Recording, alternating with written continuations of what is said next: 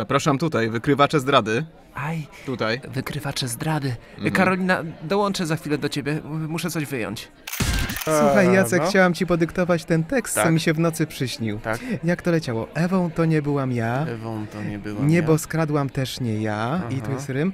Mam dosyć łez puszczania. I do tego trzeba jakiś rym. Łez puszczania. Co się rymuje z łez puszczania?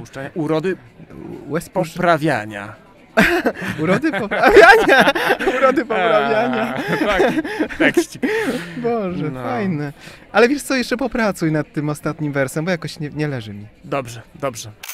Wielkie dzięki, wielkie. Podziękuj tacie. Wychodził ci tego Wiktora. Podziękuj mu. Asiu, powiedz jak tam w twoim małżeństwie, bo słyszałem, że nieciekawie, nie najlepiej się dzieje. Kiepściunio, tak?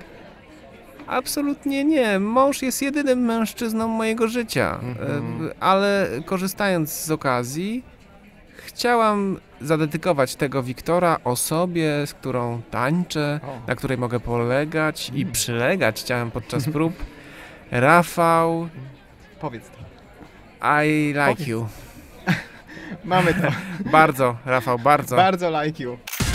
Tak, y, Jacek! Dobrze. Tak? Coś góralskiego dla nas, na szybko jakiś tekst. Pasła się łowiecka. Ło co? Łowiecka. Przez ło. E, Bacowe ło. Ło. Wie. Na hali. Na. Zaczekaj, chwilę. Na hali. Na.